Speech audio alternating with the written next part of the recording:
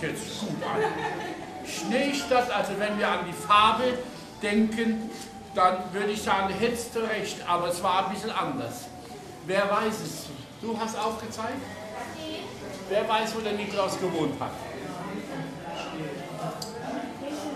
In Myra heißt die Stadt.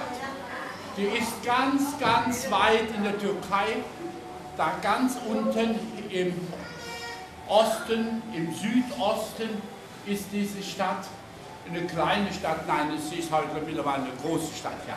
Und wie gehen die Menschen dann dahin, wenn es so weit ist? Ach, das ist eine gute Frage. Wie können die Menschen dahin? Ja, hast du eine Eine Antwort? Geheimstadt. Eine Geheimstadt. Du liest viel Fabel und Märchen, hä? Eine Geheimstadt. Nein, das, das muss man mit Flugzeugen machen. Aha, das ist auch eine gute Lösung. Mit dem Flugzeug, so, ja, Oder mit Luftballon. und mit Luftballon hängst du dich dran, Äh, aber nur wenn die Mama unten steht und hebt dich. hä? oder mit dem Schlitten vom Weihnachtsmann. Ja. Aber hast du schon mal gehört, dass es in der Türkei schneit? Ich weiß was. Ich weiß, ich bin mit was der Weihnachtsmann kommt. Womit? Mit fliegenden Rehen. Also, ich sag's euch, mit fliegenden Rehen. Ja. Also deine Fantasie, die ist ganz toll, Horch mal. Bist du schon in der Schule? Noch nicht. Im Kindergarten? Ja. Das heißt Rentier. Mit Rentieren, ja. Da könnt ihr mal sehen, wie der Nikolaus, was der alles für Geschichten hinter sich zieht. Dieser Nikolaus, der hat also in der Wüste gelebt, oder die, diese Stadt Mira, ist, das ist fast Wüste. Da ist es warm, heiß, unerträglich. Und dort gibt es ganz, ganz viele ganz arme Menschen. Ja. Ja, ganz Und arm. der Nikolaus hilft dir ganz. Siehst du, und jetzt kommen wir der Sache schon ein bisschen näher. Das ist nämlich das Tolle an diesem Nikolaus, dass der dann in seinem, mit seinem Geld, mit dem, was er hatte, den Menschen geholfen hat. Ja, Ich wollte gleiche sagen. du wolltest das Gleiche sagen, ja. Weißt du denn zufälligerweise auch, wie der Nikolaus geholfen hat? Aber äh, ist in der kleinen Stadt auch ein Flughafen? Nein, damals war da noch kein Flughafen, heute auch nicht. Hm. Aber, aber da. Aber der Nikolaus, der Nikolaus ist ja lange tot. Weißt du schon, wie lange der tot ist? Der Nikolaus? Ja. Wie lange ist der Nikolaus tot? Hm? Ein Jahr. Wer bietet mehr? über 1000. Über 1000. Noch mehr. Nein, nein, nein. Da schon mal, wir sind hier, wir gehen hier nicht mit den Milliarden des, der Gelder von der Regierung um. Moment nicht. Nein, auch nicht. 1600 Jahre. Ich war am nächsten. Ja, du warst am nächsten. 1600 Jahre ist das her. Könnt ihr euch denn vorstellen? Ja, das ist gut. Dankeschön. Können wir uns nach 1600 Jahren überhaupt noch daran erinnern, dass es den mal gegeben hat? Ja. Weil er immer den Menschen liebt. Du kennst doch Jesus Christus. Horche mal, was habt, haltet ihr davon, wenn wir jetzt, nachdem wir schon so viel über den Nikolaus erfahren haben, wenn wir den Nikolaus jetzt spielen? Ja. Ja? Ja, ja. Wer hat Angst? Ich gehe da. So, so. Was? Du hast Angst? Nein. Horche mal, wir spielen jetzt ein bisschen Nikolaus. Nee. Ich sein? Du bist nicht so alt dazu. Ich bin 72 und bin nicht zu alt, um Nikolaus zu spielen. Und du bist 8, oder? Elf, ja, und dann auch. Also sagen wir mal so, wenn du dich wohlfühlst, darfst du gerne bei dir bleiben. Wenn du aber Ich Angst, aber schnell gehen. wenn du aber meinst, dass du zu alt bist. Ich habe manchmal so ja Schulkinder, weißt du, dass ich das, dass ich das Spiel hier, was ich mit euch mache, im nächste, übernächste Woche im Ramada Hotel beim Branchen für alle Erwachsenen machen. Ein Bad. Der Bad.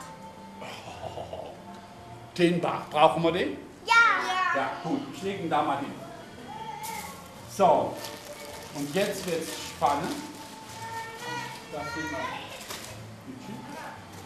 das hier ist, das, kommt, das zieht der Bischof unter dem Gewand an. Das nennt man Albe. So, jetzt brauche ich einen, der mir hilft. Ja, du hast die erste Hand hoch gehabt. Komm. Steig auf den Stuhl, bitte. So. Dann hältst du das mal bitte fest hier oben. Jetzt passt mal auf. Ich krieche da jetzt rein. So. Du war Nikolaus. Na komm. Danke. Du kannst wieder gehen. So. Oh, ist das umständlich. Lieber wäre es mir, das hätte vorne einen Reißverschluss. Dann hätte ich das sehr viel schneller. Ja, Das geht, das geht fast bis zu den Füßen. ja, das ist fast zu lang nicht. Schade, dass Sie gehen müssen. Kommt nächste Woche Donnerstag wieder. Okay, tschüss. So, jetzt brauche ich das. Stell es auf den Stuhl. Jetzt ziehe ich dieses Zingulum an hier. So, hältst du das? Und das gibst du mir jetzt bitte in den Rücken. Ich weiß das hier so in die Hand geben. Danke. Wisst ihr, ich war spät, früher mal als kleiner Knabe war ich Messdiener. Und da habe ich das gelernt, wie das geht. Ein Knoten kommt da drauf, ja.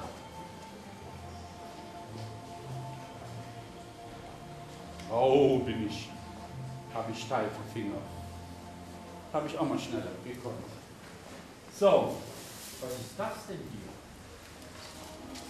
Eine Tüte. Was ist das denn? Das darfst du halten. Das. Die Mütze. Die, die Mitra, Mitra sagt man dazu. Da sind die Haare auch schon drin. Aha, das sind noch nicht untersuchen. Bitte, bitte nicht. Da hat Ich seine möchte die Haare ganz- verloren. Ja, der hat seine Haare So. verloren. Mütze. Du darfst mir jetzt helfen, das Gewand anziehen. So, steigst auf den Stuhl. Der Nikolaus hat seine Haare verloren. Hier Ja. gut. So, Das hältst du das mal so? Da und da. Jawohl. Und jetzt kommst du, gibst du mir das über die Schulter. So. Boah, bist du schon groß. Toll, danke schön. Du darfst gehen. Ach so. Also ich hat noch gar nichts getan. Nur hast du schon. Holst du mal den Stab. Hier ist der Stab. Da. Setz dich mal mit dem Stab wieder hin. So. Wer hat denn mal einen Bart? Der Bart liegt da unten. Gut. Du bist aber nicht der Häuptling, gell? Das muss ich jetzt mal schauen, wie ich das anbekomme. Ich brauche einen neuen Bart. Richtig, einfach über den Kopf. Das mache ich jetzt selbst. So.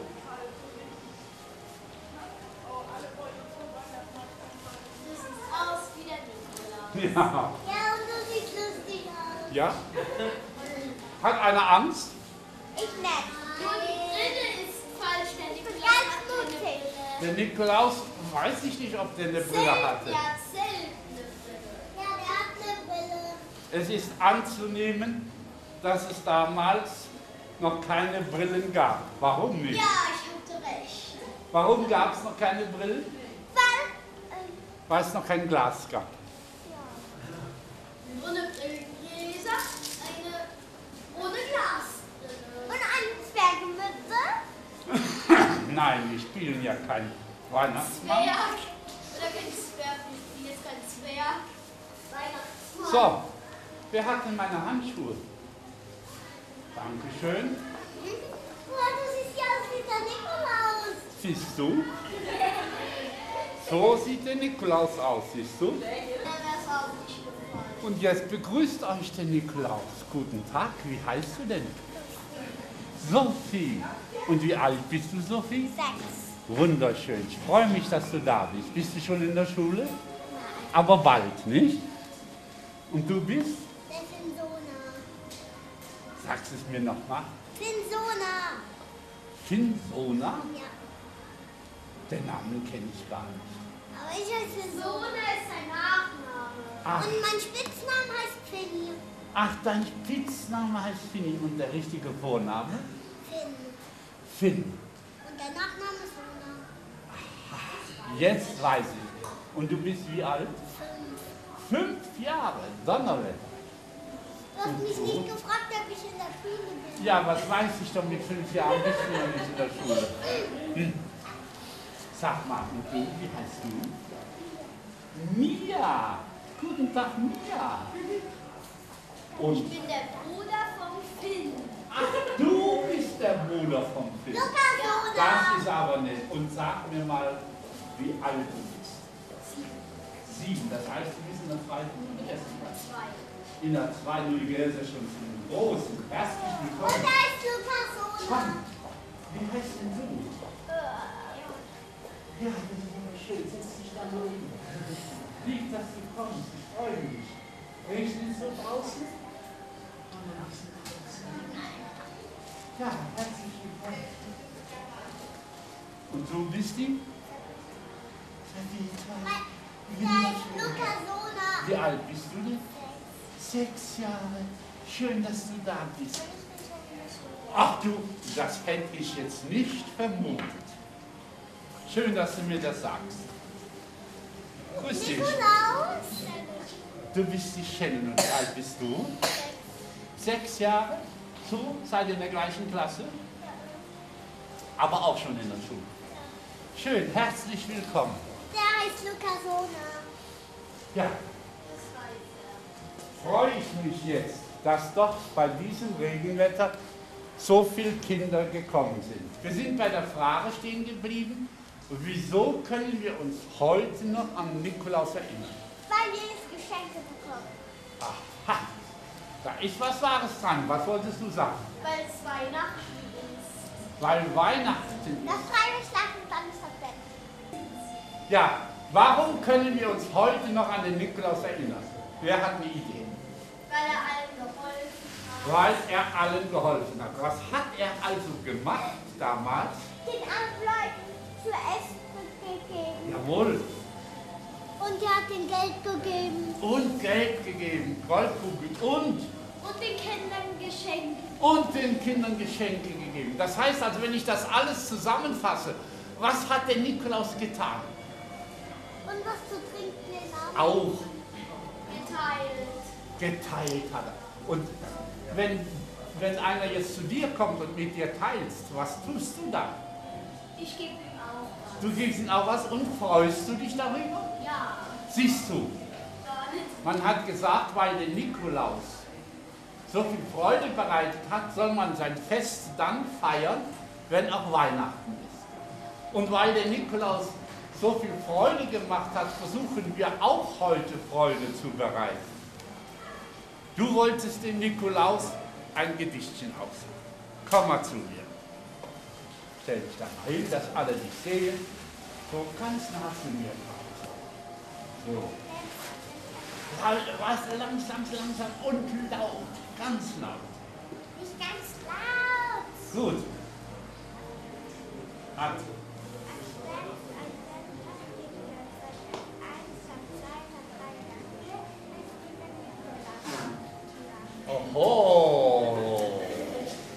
Steht das Christkind.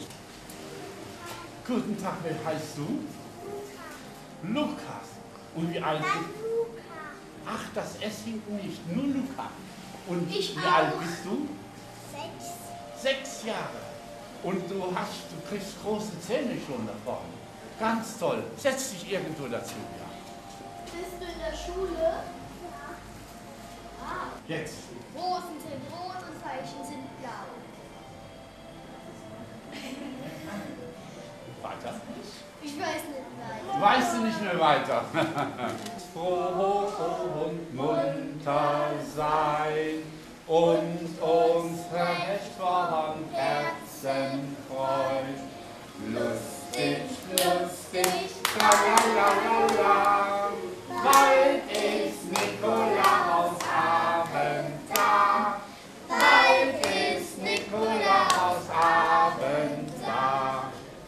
Schön gemacht. Das sind so kleine Leute und manchmal auch große Leute, die Plätzchen ist. naschen die Plätzchen. Und wie sagt man dann? Plätzchennascherei.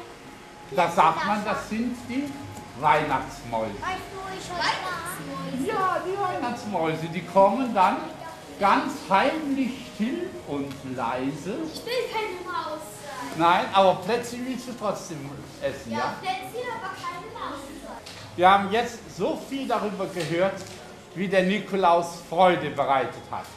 Jetzt frage ich euch, ja, jetzt frage ich euch, wie ihr Freude machen könnt. Wer hat eine Idee, wie man Freude macht? Geschenke. Ja, Teilen. Teilen. Dann nennen wir mal ein ganz konkretes Beispiel, wie du teilen willst. Äh, zum Beispiel, ich gebe einem einen Lutscher und der andere gibt mir einen Kaugummi. Oh, das ist, das ist schon kein Teilen mehr, das ist schon Ich Handeln. weiß es. Ich Ja, weiß ja. es. Ich gebe ihr Brot und sie gibt mir Brot zurück. Ah, das ist auch schon Handel. Wie machen wir Freude? Ich gebe den Kekse. Und den anderen gibt es gar nichts. Du schenkst einen Keks weg und das ist Freude. Okay? Jetzt habe ich aber eine Frage hier. Bei den Sechsjährigen klappt das schon viel besser. Wie kannst du denn deiner Mama Freude machen oder dem Papa? Wenn ich denen was bastel. Bitte, wenn? Wenn ich denen was bastel. Aha, aha. Siehst du? Du bastelst was zu Weihnachten für deine Mama und Papa? Wunderschön. Und du? Du malst. Wunderschön.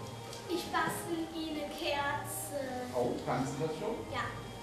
Und jetzt kann jedes Kind bei mir ein Tierchen bekommen. Wollen wir das mal ein bisschen mitsetzen? Im Erzgebirge wird ein Baum in Scheiben geschnitten und dann wird daraus gedrechselt und dieses Drechseln sind dann solche Tierchen. Und jeder von euch darf sich jetzt ein Tierchen oder auch zwei Tierchen abschneiden und mit nach Hause nehmen. Hier ist zum Beispiel ein Pferd. Naja, das ist schon halb Kopf ab, der geschlachtet. Soweit, Ja. So, und jetzt darf jeder sich zwei, bei den ganz Kleinen fangen wir an, sich zwei aussuchen. Was möchtest du denn haben? Das möchtest du die haben? Dann bitteschön. Und was möchtest du noch haben? Was ist mit der Ziege? Ja? Gut. Dann nimm den Hammer. Halt, ich muss das erst ein bisschen gerade klopfen. Lass mal los, bitte.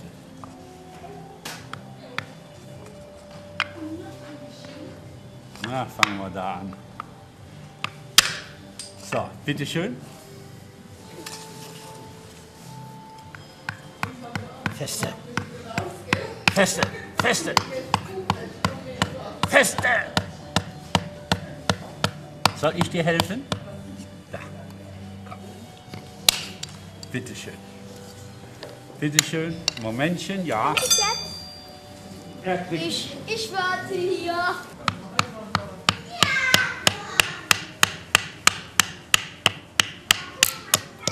Gut, das ist ein Schweinchen, bitteschön. Die Schweinchen, die kann man mit Schmirgeln, die kann man am Baum hängen, da kann man abmalen. Was wolltest du noch haben? Eine Kuh. Das Holz ist vom letzten Jahr. Und da ist das, wenn das frisch ist, dann bricht das viel leichter. Ich glaube, ich helfe wieder, ja?